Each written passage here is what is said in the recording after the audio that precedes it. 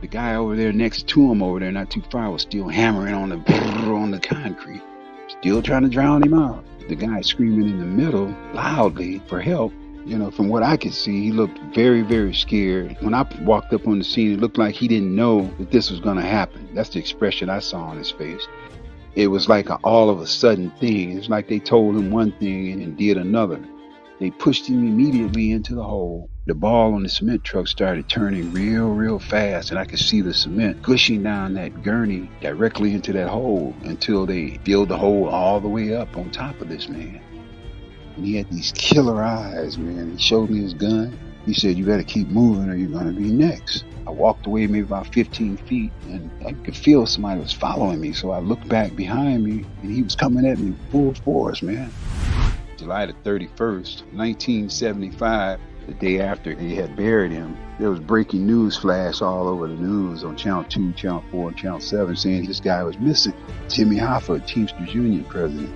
I was telling my brother and sister now, I said, that, that's the man that I just saw yesterday downtown get buried. He said, Mike, you gotta leave that alone, man. It's mob, man. He'll kill you and the whole family. On July 30th, 1975, teenage boy whose life has been defined by traumatic events witnesses the murder of a man whose death has been the subject of federal and local investigations for decades and has captured the fascination of every generation since. For 27 years, he carries this dark secret, unwilling to risk the retaliation of one of the most dangerous crime families in the nation until the burden becomes more than he can bear. This is the extraordinary story of Michael Edward Yarbrough.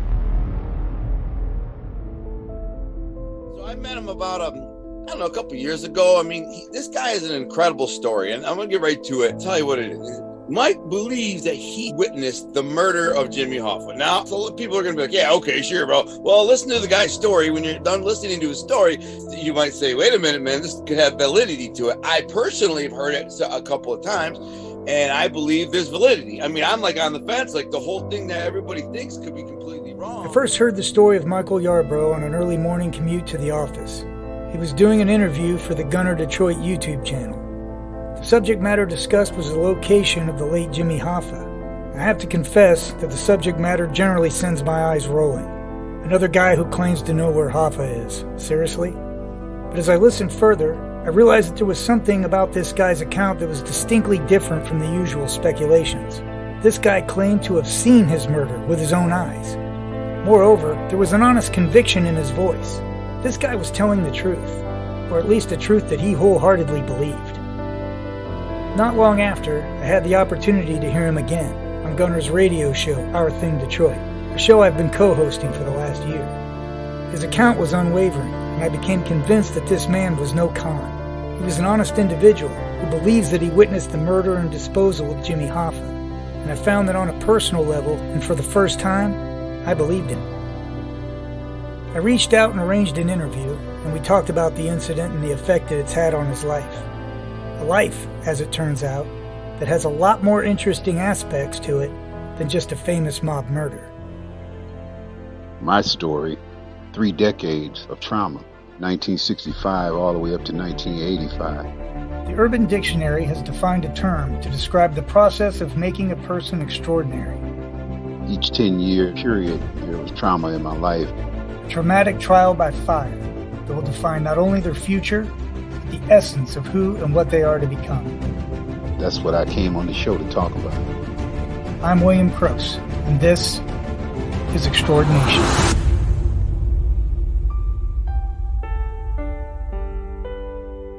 I was born July 1957 in St. Joe, Michigan, near Benton Harbor. My first memory of being in Michigan well, it goes back when I was a little kid and living on Apple Tree Court. He was living in a little small house, two bedroom house with a coal box. And back then in the 50s and 60s, if it snows, you know, the snow would be so deep, we couldn't even get out of the front door. We had to climb out the window. And in the house, you know, we had to keep warm. Our furnace was like an old coal furnace. You know, you had to put coal in there to get the house warm. It was pretty old. We didn't have no TV. We had radio. We was listening to uh, Joe Louis on the radio. I can remember that. I come from a family of uh, 18 siblings all together, 13 boys, five girls, and you know, half the time we all lived in the same house. we got big families, man. It's not just my family, immediate family. It's my cousins and there's so many kids in the Yarbrough family, man. They be sliding down the rails in the house or jumping out of windows and shit. like the little old lady in the old shoe or something. So many. My dad, my mom were saved and sanctified, filled with the Holy Ghost. My, my mother was a nurse. My dad, he worked on the railroad and he had his own garbage company business. He had 500 customers, three trucks, and he was a, a really good man. Everybody knew Mosby Yarbrough. You know, he's very popular in the city of Benton Harbor and St. Joe. You know, he had a lot of customers and he'd get up in the morning, take us to the berry field. We pick berries. He'd come back pick us up. I don't know how he did it. I really don't. He'd go to work on the railroad, get off, and go to work on his truck, haul trash. Half the time I was right there with him. Me and my brother was helping him company business, you know. But uh, my old man and my mother used to pull us on a little red wagon to church, which was just right around the corner from our house. And that's where my trauma began on that street. In 1965, well, they used to put black people in projects back then, and still do, really. But they were familiar with each other. We were living in a house, so it wasn't like we was living in the projects, but we were right next to the projects. And I would go into the neighborhood over there and play with this young little girl named Diane Carter.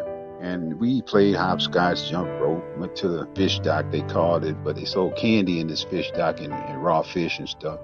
So we used to walk to the fish dock and get big bags of jelly beans for a penny. You could get big bags back then, but we used to go there and get those and come back home and play again. During this time, there was this older white guy used to come around our houses, everybody's house, selling life insurance. They called him the old LB Price man. Well, there was this serial killing going on, and he was a part of that serial killing. We knew that it was a white man out of Chicago, a practicing surgeon. He was experimenting on black people what they did as a team, LB Price man would come around and get familiar with all the neighbors and stuff, and people started disappearing. The first person he kidnapped was a young lady who was walking from the East End bar in Benton Township, not too far from my house. She came up missing. And then, secondly, my little girlfriend named Diane Carter came up missing. I used to walk her to the store and get jelly beans all the time, and her mother told her, Don't go to the store by herself without me. Let Mike walk you to the store.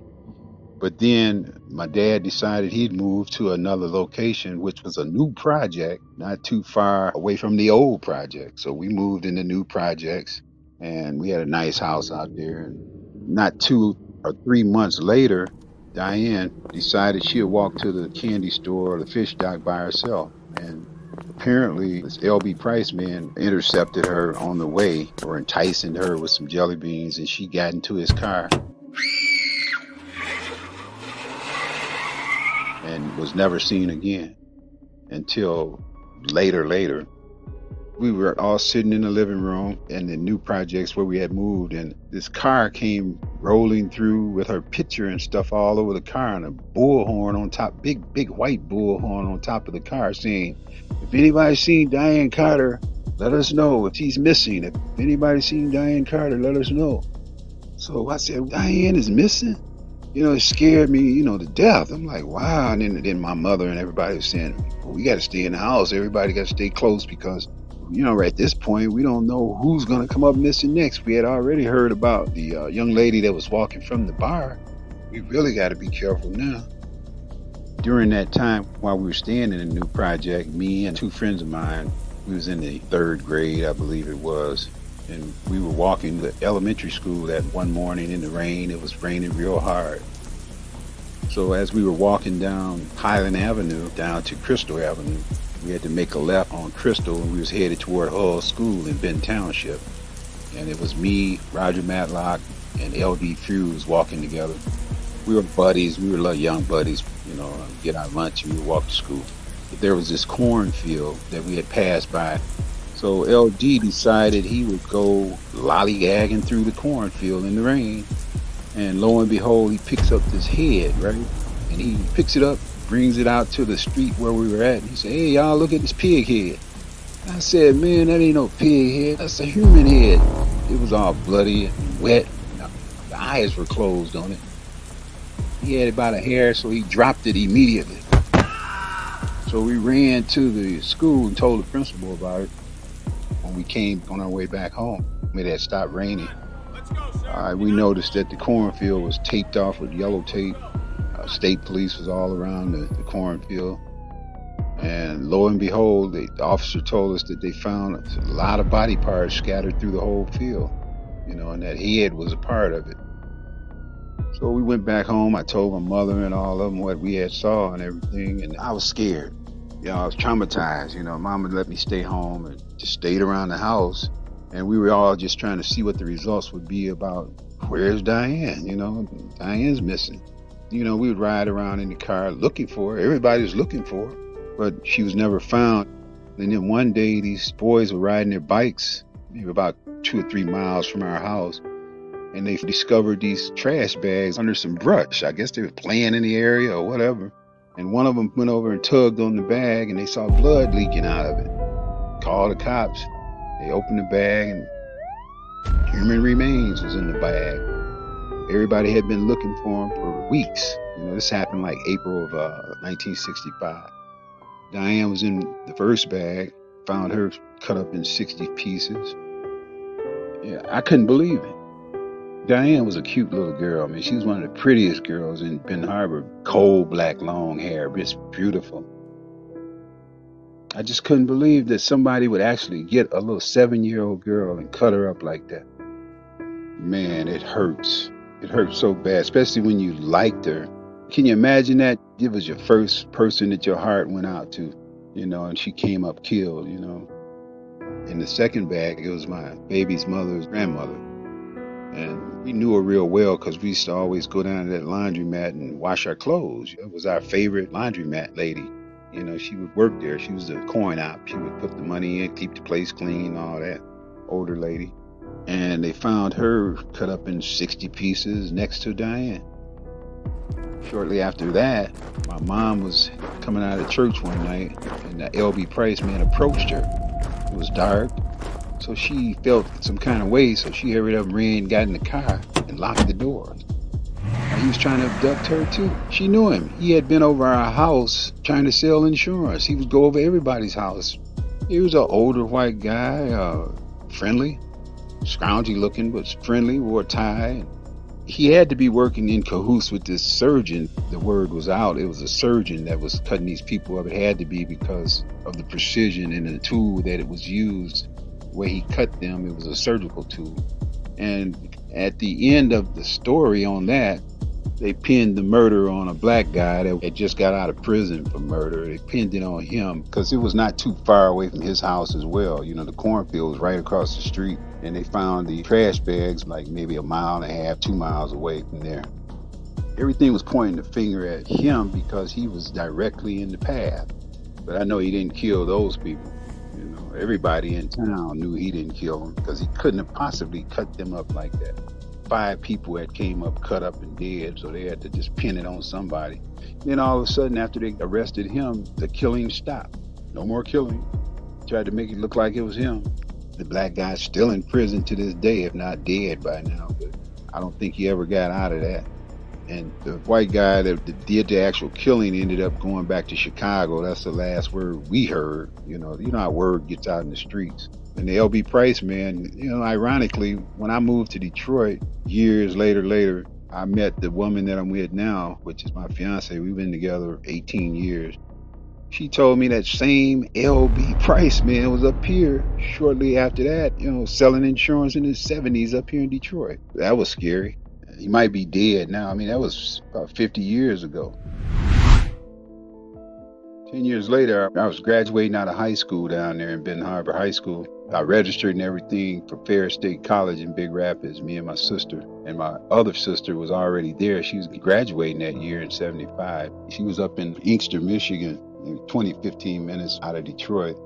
Before I went to Ferris, she called me and she said, Mike, come on up to Detroit. They got a lot of jobs up here, man. Uh, they hiring at General Motors. She got a job at General Motors in security at first. And she worked her way up in procurement, you know, office administration. She said they got a lot of jobs up here in Detroit. They got security jobs they need down at the Renaissance Center. They're building it up and stuff. Uh, so I came up here And when I woke up the next morning, saw on the news that they needed to hire a bunch of people to fill the job positions at the Renaissance Center downtown in Detroit. So I got my 1975 green Firebird Pontiac shot down in Detroit and I parked in the parking structure on the Atwater side, which is the uh, hotel side of Tower 400. So I pulled in, I got out my car, went through the door. It was so accessible then where you could go in, go to the movies, shop. It was amazing. They had a waterfall in there. You could throw money in there, make a wish, and all that, man. It was nice. And then they had the hotel part, one of the tallest hotels in America. So I went in there in the front entranceway and I asked the security guard that was at the desk, I said, How do you get to Clean America? It's a temporary employment agency where they were hiring security for the building and other different jobs. So he said, You go down the escalator right there to the ground floor and make a right. So I went down the escalator, and for some odd reason, I made a left. Something just told me to turn left, and it took me to Tower 200, which was uh, already complete you know, the building was open to the public at that time because they had two phases to the construction of the building. Phase one had been complete, and that was the part where they invited the public to come in and apply for the job positions and sightsee and see how nice the building looked. So as I went through Tower 200, which was mostly an office space building, it took me to Tower 300, which was not complete what I saw at Tower 300 when I got there was not a tower. It was just plastic up, you know, the kind that you can't see through, but you could vaguely see anything on the other side. You could see the lights that were hanging, you know, the yellow lights and the white light.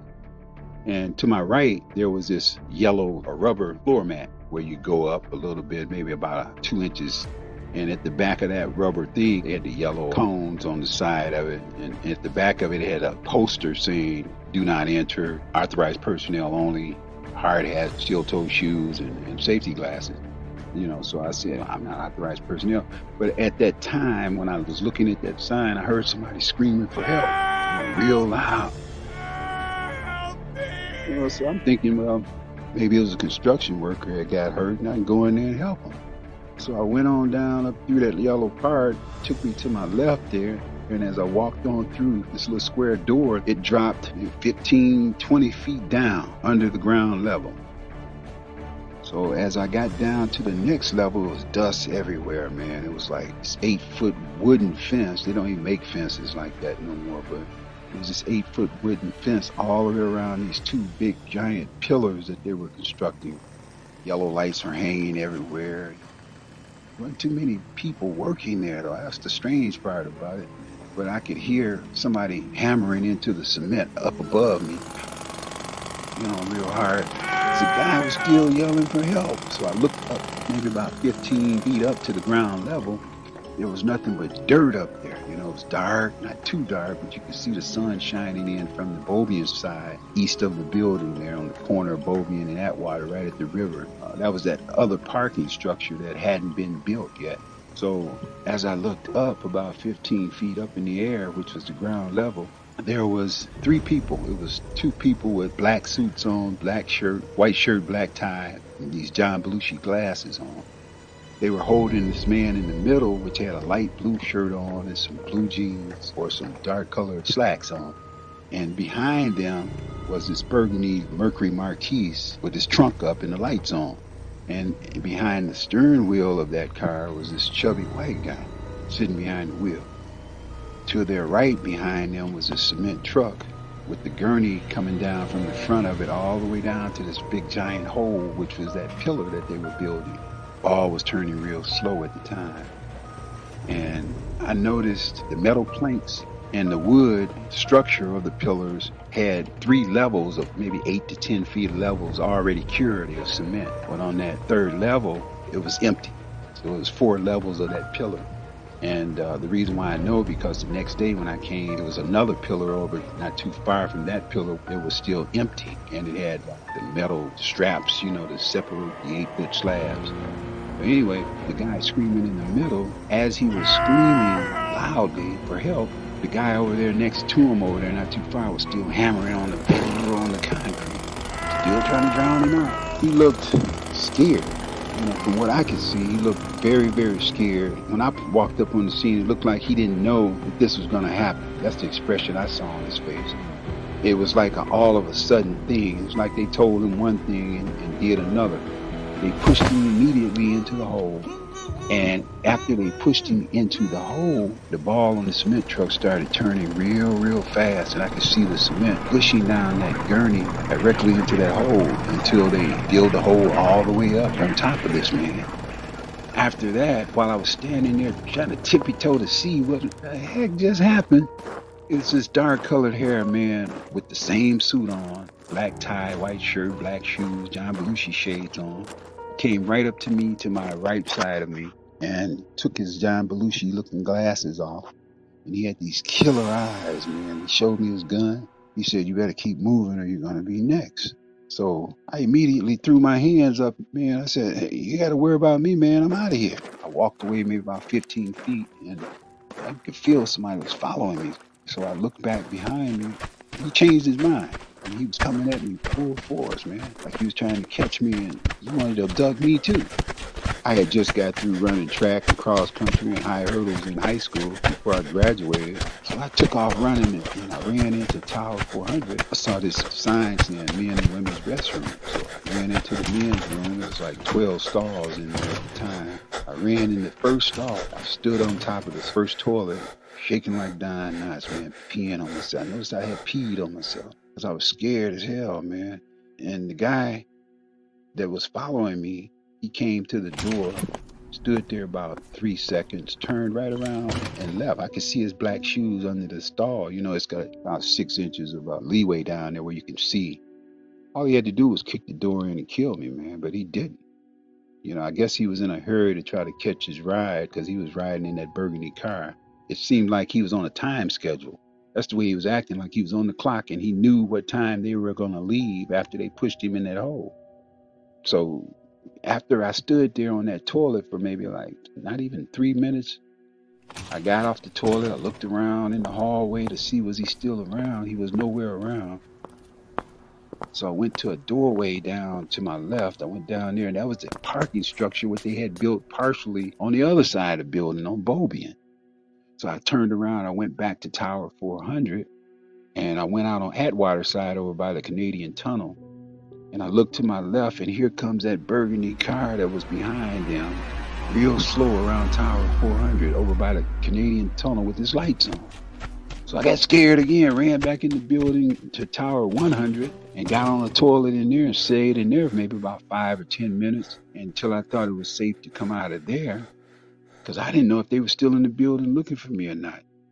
So I, I came off the toilet. I went back into the Westin Hotel parking lot I got back in the car, went back to Inkster, Michigan, and I told my brother and my sister and his wife what I had just saw. They said, Mike, gotta leave that alone, man. It's mob, man. They'll kill you and the whole family. So I was quiet. I didn't tell anybody about it. I didn't want to jeopardize that. To be basically honest with you, I kept quiet for 27 years. But 1975 of July the 31st, the day after they had buried him, there was breaking news flash all over the news on Channel 2, Channel 4, and Channel 7 saying this guy was missing.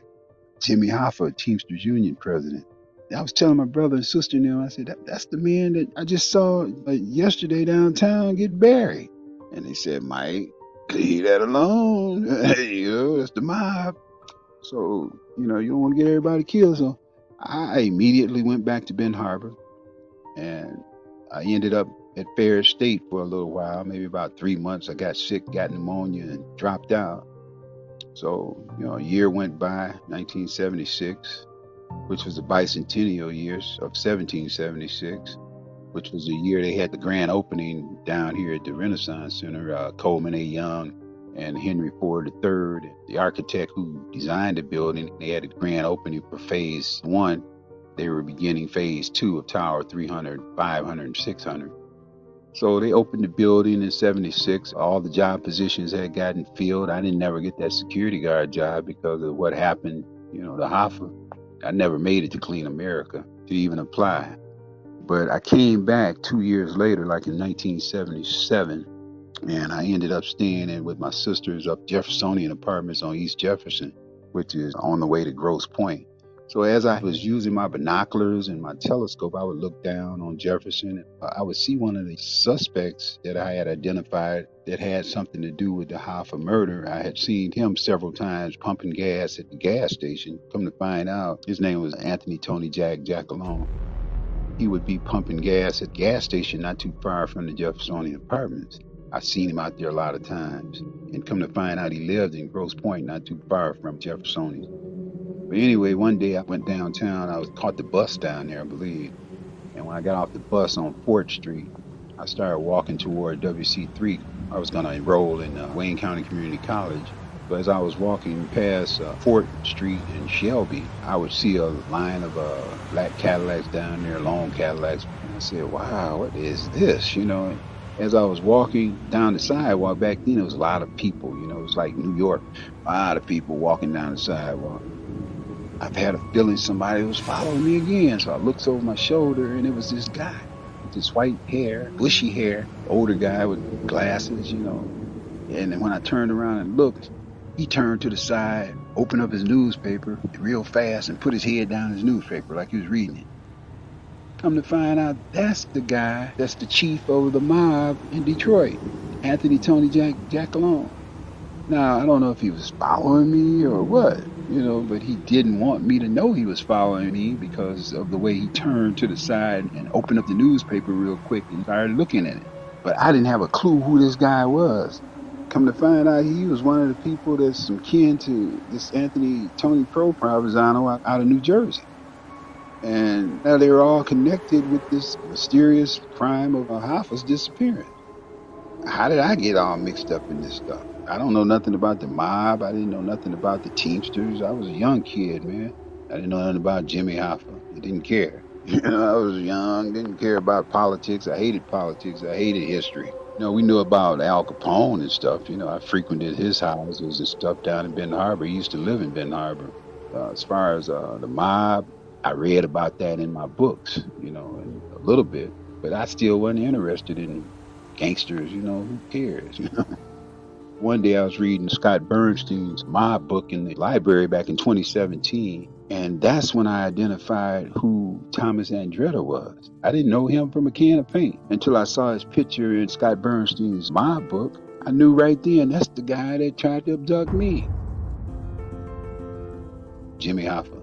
This man just lost his life right in front of me. You know what I mean? And I'm not allowed to say anything because if I do, you know, I'm going to get killed. So when I did say something about it, my sister, she had married a cop in Detroit. He was a Detroit police officer. I told him about it in 77.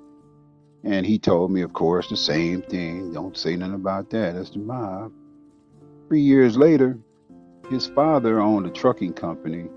Clem was his name. He had a big white Eldorado, red seats, white outside, a nice car. Teamsters told him that they wanted his company to merge with the Teamsters and he refused to merge, so he ended up getting killed in 1980. I don't know who killed him, but it was deep back then, man. They were strong arming people. I, I was working in the plant at Chevrolet Gear and Axle in Hamtramck, and you could feel the tension of the unions and stuff, you know, the power of them not wanting us to be in the union. You know, it was beating people up. It, it was anti union.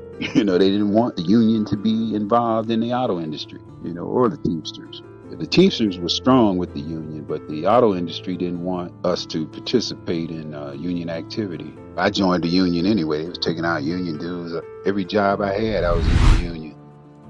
Well, the 10 years after Hoffa, in 1980, I moved back to Benton Harbor. I stayed down there until 1984, and I moved back to Detroit. And, you know, I was going to college and stuff, Wayne County Community College again, and as I was riding the bus down to uh, Wayne County Community College, it was this advertisement of this car that they were giving away on WDRQ. Still Small Look at the Bull Trans Am, Stroh's Beer Company was sponsoring it.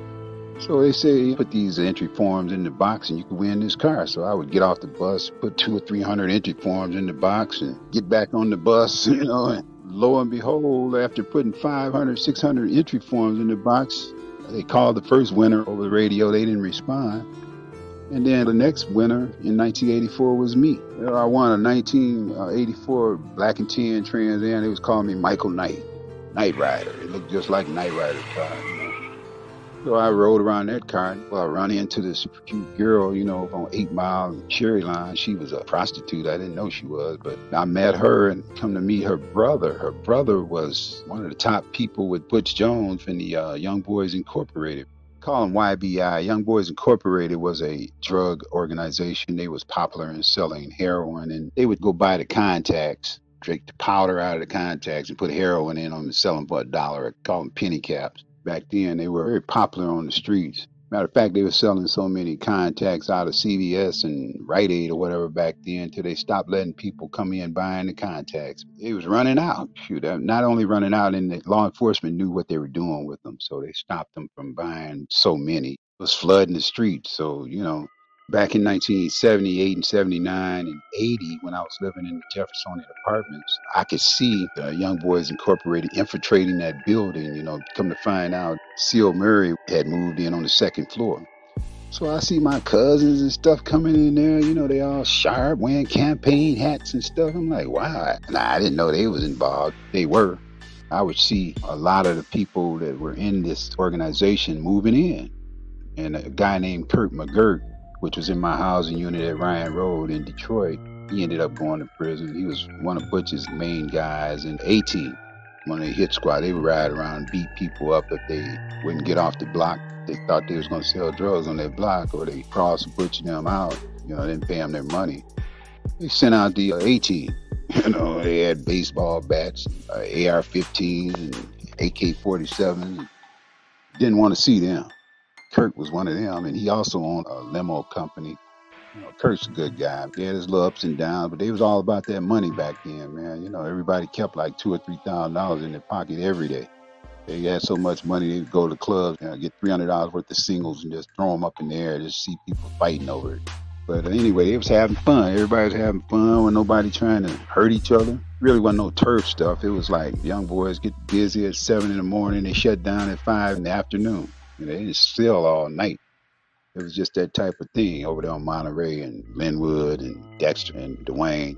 You know, we used to go over there all the time because my relatives stay over there. Uh, Vinewood and all over in that area, West Grand Boulevard and down the street from Motown Records. Around the corner was Butch. That's where Young Boys originated from, right there on Monterey. It spread it all down Linwood and all down Dexter and Dwayne. Then it ended up spreading all over Detroit. Ended up on nationwide. They was everywhere. During that time, after I had won that 1984 Trans Am, me and Larry Poindexter, which is Uncle Bo, they called him, he was one of the top leaders of Young Boys Incorporated. We was riding one day over on the east side. We went to go see the Curry Boys, you know, big man, little man, you know, good friends of mine. So we rolled over there and we kicking with the big man, little man. All of a sudden, this young boy come walking up to the car, white boy. He was like 14 years old. One of the Curry boys, uh, little man, told us, he said, oh, that's my man, he cool. He asked uh, Bo, could he join Young Boys Incorporated? And Larry immediately told him, nah, man, you can't join this. Nah, go ahead on.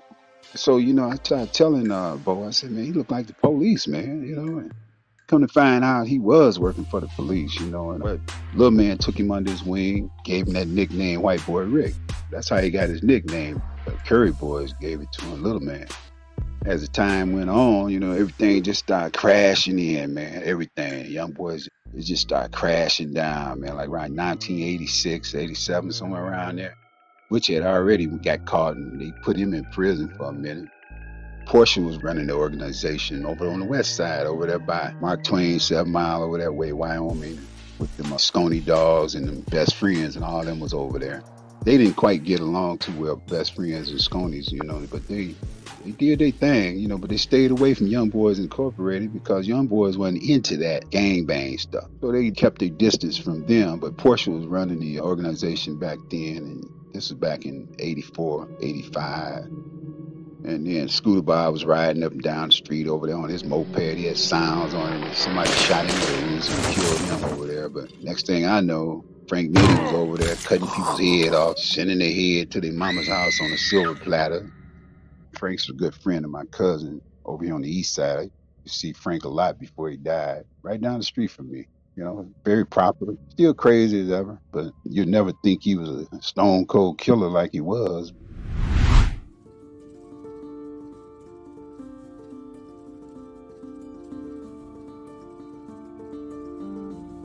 You know, when I was coming up, our mother and father instilled in our minds that, you know, get your education, man. You know, get your good job you know, and retire, you know, which I did. And I stayed focused on my education all throughout that Young Boys Incorporated experience. But like I said, you know, when you're around a lot of friends and family that's involved in that, you tend to see a lot. You know, even though you're not participating, you see a lot going on. And a lot of that stuff that was going on, I disagreed with. I was staying focused on doing the right thing. And I didn't want to see my people going out like suckers, man. And they were all going out like suckers. You know, you can't base your life on selling drugs. I mean, come on. Not only are you doing something illegal, but you're hurting your own people with that stuff, you know? I've seen a lot of people die from overdoses of heroin. A lot of people. Almost everybody I know that was doing it is dead. This go all the way back to the 60s. And they tried to get me to join the organization. Bo, you know, they did everything he could, stole my Trans Am from me. Even though I was still going with his sister, he tried to kill me, man. He uh, put some heroin in my drink. You know, I was drinking some Courvoisier. I didn't know they had slipped it in my drink. And I was feeling funny. So I got out the car. That's when he stole my car. As I was laying on the side of his mother's house, the Lord sent the rain, and the rain is the only reason I'm still living today. Because that rain got on my face, the cold rain, and it brought me back. But I would have died that day. I had to get my brother-in-law. He was Wayne County Sheriff. I had to get him to get my car back from Bo. They wanted to use that car to chop it up and get the money off the insurance and let them young boys roll. That was their main words. Let them young boys roll. You know, fifteen thousand dollars would have helped them for that car. That, that would have helped out a lot. Yeah, I got it back and I refused to join. And uh, yeah, he couldn't get me that way. So next thing I know, two or three weeks later, he sicked his boys on me. Back then they had beepers and payphones. He would beat one person. It looked like 50 people would be on the block in one corner. That fast, in less than 10 minutes, they started chasing me, man. I was on my brother-in-law's bike. I tore it up trying to get over a fence, bent the wheel. I ran all the way from Cherrylawn to Wyoming. There was this bus sitting there. The bus driver had the door open. I ran on the bus. He shut the door right quick. They were beating all on the bus trying to get to me, man. Uh, they was trying to kill me because I didn't want to join Young Boys Incorporated. I'm 27 years old. So we were all young, you know, bouncing in the car, you know, the music. We was having fun, you know, but I was having my kind of fun, just enjoying my young life, trying to get my education. And they was having their kind of fun. That was criminal activity to me. All the stuff they were doing was mayhem and murder, you know. You know, I didn't want to be a criminal. I wasn't nowhere near like them. You know, I was just into pretty girls and, you know, just had a few drinks here and there, you know, but I wasn't into all that selling drugs and all that, man. Just wasn't into it. And I couldn't see our young youth going out like that. Another 10 or 15 years later, I was trying to be a state trooper. You know, you got to score a 98. I scored a 89, so uh, that's how I ended up in the Department of Corrections and working in the prison when I was working at Ryan Prison here in Detroit, they rolled White Boy Ricky in there. He was there about two weeks. He was in my housing unit, and they was bringing garbage bags full of letters and stuff, cards saying, "Let White Boy Rick go, let White Boy Rick go." During those two weeks while he was there, them young boys was in there, right? Young Boys Incorporated, half of them was locked up. They knew him. You know, they knew he had uh he went to the feds and stuff, and that's the reason why young boys crashed because of him he had to get out of there because he was in general population and I could see the tension growing in there and I had to get him out of there. I knew firsthand what it was all about because I remember him on the streets when he wanted to join young boys, you know. Even though little man Curry said that, yeah, man, squash that, that's a past, man, you know. Yeah, ain't nothing you can do about it now, but uh, a lot of those guys still got animosity toward Rick in the prison. So I had to get him on the first bus smoking. Two weeks later, I had, you know, rolled him out because I didn't want him to get hurt, you know. I was responsible for him getting out of the Ryan Road. I don't know where they rode him to, but Fed screwed him over, man. I never seen anything like it. You know, he did them a favor. He cleared the streets of the drugs, but Fed sent him on a mission, you know. I think where he made his mistake is he started selling drugs himself. That wasn't a part of the program, you know. Yeah, I was there at Ryan Road in 96 when these guys contemplated on escaping and they did. One guy, Mark McLeod, you know, he was with the Young Boys Incorporated. He had plenty of money. He said, I'll give you $15,000 to just turn your head the other way. I was a perimeter officer at the time, you know, riding around in the truck with the shotgun and the handgun and the AR 15, you know. And I said, no, man, I ain't finna get involved in no stuff like that, man. What's wrong with you? You know, he in there, you know, triple life bit and killed 72 people. He's a hitman, you know, and you know I don't want you out on the street. If anybody, you know, I don't care what kind of money it is, you're the last person to come to me with something like that. You know, I don't care if you're in there stealing license plates. Don't even come to me with that. Yeah, he offered me thirty thousand dollars. He said I get the other fifteen after we get out. So I immediately went up to the warden's office and told Warden Burt. I said, Warden Burt, they talking about escaping. Yeah, he offered me thirty thousand dollars, McLeod. And she said, Yeah, bro, this is a prison. Don't you know that's all they think about is escaping? So I immediately left out of her office. I went off on stress leave. I think I was off like two and a half months. I went back to Benton Harbor and stayed in my house in Benton Harbor. I had a house here and a house there. Took my wife and kids and everybody out of here, man. Next thing I know, the phone's ringing and, yeah, bro, get back up here, get dressed out. Just had an escape. The way they escaped between Mound and Ryan, somebody had threw some wire cutters over a fence and a shotgun. And uh, the girl that, that took my place in the perimeter vehicle, she fell for the ride. So she's all on the news. They had her house all on TV, the cameras, the house was all junky. It was a shame. that would have been me, you know. I'm like, oh man. She lost her job. I think she probably got locked up for conspiring to the crime.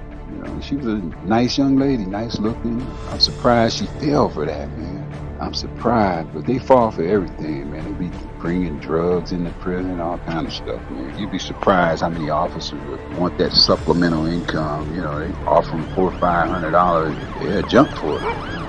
I came back to Detroit. I'm walking around in the neighborhood, AR-15, bulletproof vest, helicopters, dogs. We had the state police over here, correction squad. Everybody was out on the street looking for these guys. One of the guys told me, he said, "Yeah, bro." get out of here. I ain't coming back. He didn't. We found him in a driveway over on Six Mile, right around the corner from the prison. He was laying there slumped over needle marks on his arms and OD'd. So I told the other officers, I said, he told me he wasn't coming back, and he didn't. There he is. He was tired of being in there. He was in there for murder as well. So most of them that escaped had murder bits. All of them was in there with life sentences. They got away. But we got them all back one was in Southfield in a motel. The ringleader, the one that was trying to pay me to not shoot him. Anyway, we got all eight of the other guys. Didn't nobody resist. They all came back peacefully and they were all detained and we had to ride them out to another prison the next day. You know, because we can't stay at the same facility. And the whole prison was on lockdown after that for several days. Everything was back to normal after that. But all that could have been avoided if somebody had just listened to me. That's my job. We're right there, first responders on the job. We see everything, hear everything. You know, when you're in administration, and you don't really know what's going on unless we pass on that information. You know, I don't care how many cameras you got, you can be looking at the cameras, but people who are actually out there mingling with the inmates are the ones who really get firsthand information and knowledge about what's going on in that place.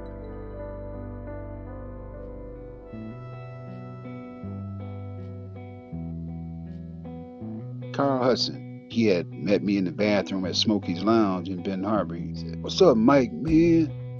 Today my birthday, man. But you know what? It don't seem like I'm gonna live to see my next birthday.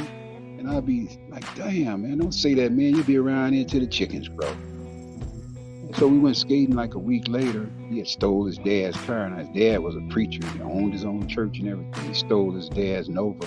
Everybody was drunk. We got up there, we were skating and stuff, and on the way back, Everybody wanted to stop at the gas station to get some more liquor. I said, man, I'm high enough. I'm driving. I ain't got no business driving drunk. So we kept on going. Next thing we know, Carlos passed us up real fast in his dad's car. Flew past us, man. I said, oh, man, that's how I drinking again. Next thing we know, police down the street. Then I ran into a tree. Four of my friends was in the car. Three of them died. Arms wrapped around their heads eyes popped out of their heads. It was terrible. It was horrible. They tried to pass another car, and another car was coming over the hill. So they had to swerve to the left and ran into this big tree. And I had to go to all of them's funeral. I think I might have been like 25, 24 years old at the time.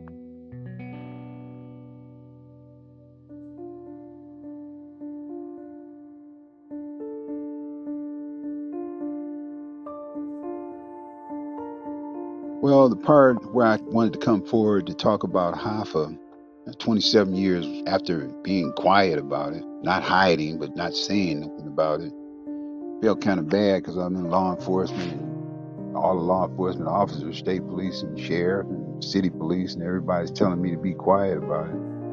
I finally came forth November 2002. I went downtown to the McNamara building on the 27th floor, I believe just came in cold, man. I just got tired of thinking about it. I just said, I'm going to go down here and tell these people what I saw. Sat down and talked to a few of the federal agents and told them everything about what I saw, just like I told you. I drew a map of the area. I couldn't really remember exactly which tower it was because the building is built in a circular motion. When you get inside, you can get confused. You don't know if the tower is on the river or on the Beaubien side or what the first entrance they had, it wasn't like it is now. You entered from the Atwater side, and that's what confused a lot of people was which tower was which. But you come through Tower 100 into the uh, main lobby area. What happened in November of 2002, I was up there talking to the agents. I drew a map to where, you know, I thought this happened at, and it was the wrong tower. It was Tower 400, but it actually it was Tower 300 so as I revamped the situation as far as the date and time and everything, it finally dawned on me it was Tower 300. I said it was 1020 at first in Tower 400. I was thinking it happened in the morning time. And at one time I thought it happened in 1977, you know. And it had been 27 years ago. I just couldn't really remember until it dawned on me that he came up missing on July the 30th, 1975. And it had to be on that day that he came up missing, of course. So I put that together. Well, they was looking at me like I didn't know what I was talking about. I mean, this guy's serious. They didn't believe me at all. They was looking at me like I was some type of quack. But I, I went on and on and on and told them, and they, okay, Mr. Yarbrough, thanks for coming by. And then it got to the point where I kept coming and kept coming and kept calling and kept writing them letters and stuff till they told me to cease and desist or they was going to lock me up. So I looked at them. I said, lock me up for what? You know, for reporting a murder? State police, they believe me. As matter of fact, state police went in the building. Me and homicide detective went in the building December the 4th of 2018. And we did a walkthrough with GPS and camera and stuff. I took the sergeant through every step that happened and everything that happened. And we stood right on top of Hoffa's grave, man it was an eerie feeling, but you know, six months later, the feds came back, told him that he had to cease and desist because that's their jurisdiction. Feds been blowing dust off my file for 21 years now. And why are they holding my file? Why don't they give my file to the state police and so they can go ahead and go in the building and do a ground penetration search and get the man out of there? They just started listening to what Stephen Andretta told them in August of 1975, a big lie, saying that Hoffa was taken from the Raleigh house in a gateway transportation truck and they was put in a 55 gallon drum and taken to Moscato's dump. Now they're still listening to Stephen Andretta and getting ready to dig in New Jersey based upon that same lie that he put out 46 years ago. I mean, come on. And Dan Moldea this journalist out of Washington D.C. that's working with Eric Shawn on Fox News, the riddle, the uh, search for Jimmy Hoffa. I'm talking to Eric Shawn. He's supposed to be coming down here and talk to me and Gunner and Scott about this, but they're not going to do it until they do the dig in New Jersey. And I keep telling them they're just wasting their time, energy, and resources again doing a stupid dig that Stephen Andretta is trying to divert them from the actual location. There's a lot of people that go down if things are brought out to the light, you know, and I understand that, you know, and somebody's blocking them from going in there, and uh, you know, there's a million reasons why, I guess. And it goes all the way to Richard Nixon's administration, and then too, it might be more people buried under that building than just Hoffa. You know, it could be a mob cemetery. We don't know. I don't know who all got buried in there before they started Tower 300. Yeah, they tried to give me a polygraph. Actually, they did. Uh, Steve Garagiola, Channel 4 News, actually invited me down to the station. I was trying to get on that Riddle podcast down there because they invited Marvin Elkind down there, Hoffa's limo driver who said that he heard my boss, Chief Anthony Tony Jack Giacalone, say, say good morning to Hoffa, boys, when they was walking across the catwalk from the Omni Hotel back in uh, 84, I think it was. He was lighting Anthony's cigar, and he looked over to the building structure in the Renaissance Center and said, say good morning to Hoffa, boys.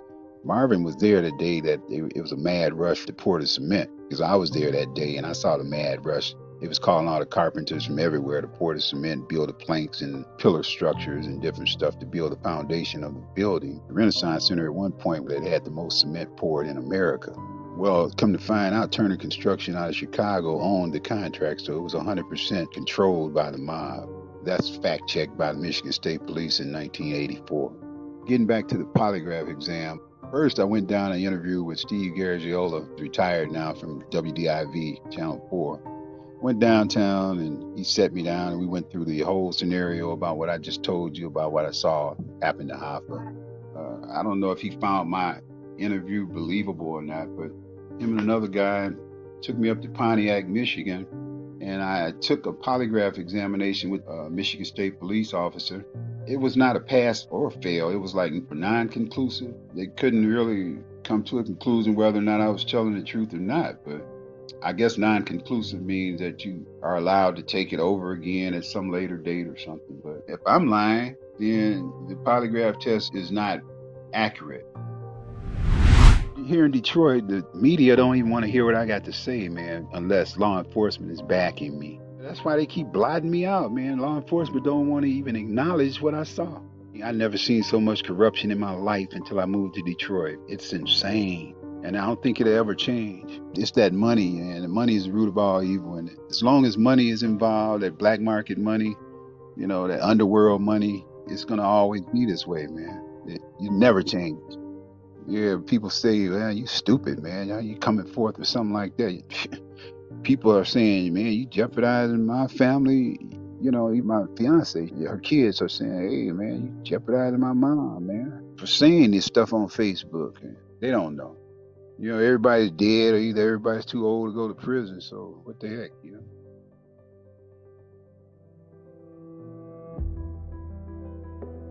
When I first started acting, I got my experience in high school in performing arts. And then I went on to Lake Michigan College in Benton Harbor and got into intro to theater. And that carried me on up here to Detroit, where when I was singing in the choir, we all got in the church van. And we were on our way to Flint, Michigan to sing in the choir. And one of the members of the choir asked me, Hey, Mike, what do you want to do in your retirement? So I said, Well, I, I got experience in acting. Uh, I'd like to get into the movie industry. So she said, Well, my husband got a cousin that's producer and director in film and they're getting ready to shoot this movie here in Detroit called 5K1, which the stars of that particular film was actor Clifton Powell and Melvin Jackson Jr. in The Wire. So we met up at the Ramada Inn in Southfield, Michigan. And I did a, a acting interview, and I passed that. They, they like to put people in a position where their career coincides with the part. Since I was in law enforcement, they put me in as a FBI detective taking down this drug gang called SMB out of Southwest Detroit. And it was interesting. You know, I, I, did the part. I had three or four parts in the film. Back in 2010, it was released. We had a red carpet review on 12 Mile and Telegraph at the theater out there. And Clifton Powell, everybody showed up. And we talked, and he said, Man, I sure like to have you as one of my security guys in some more movies or something. You know, you're pretty good. And we went on to talk. You know, a lot of the actors that I know that I went to school with and was raised with, like Sinbad and, and Ernie Hudson and, and Vivica A. Fox and Cedric the Entertainer. I said, well, wow, man, I'll be getting with you in the near future. So I'm excited about that. Yeah, check it out, man. Check it out. Well, thank you, man. And thank you for taking your time up with me, man, because a lot of people don't want to hear about trauma and murder and mayhem. When I took an oath to be a corrections officer, I took an oath to be an honest person, you know, a law abiding person. You got to try to do the right thing, man. Spike Lee said that in the movie, "Do the Right Thing." You know, he's trying to address that that message to our people that that's what you're supposed to do. You know, you can't just keep going around trying to be drug kingpins and big time hitmen and murderers. That ain't the lifestyle you should live. You know, get your education. You know, raise your kids. Be a family man. You know, you get right with God. You know, I'm sick of all these single household parent things, man. Just get your woman to stay with her bump divorce. You know, stay with that woman, make it work. Yeah, that'll change Detroit. That'll change a whole lot of suburbs too. You know, but it was nice talking to you, man. I'm go see what my my old lady wants. I think she wanted to make a run out for it. But well, thanks, man. Get in touch with me. Okay, tell Gunner I said what's up, man. And Scott too. Tell Scott I said what's up, man. Okay, bye bye.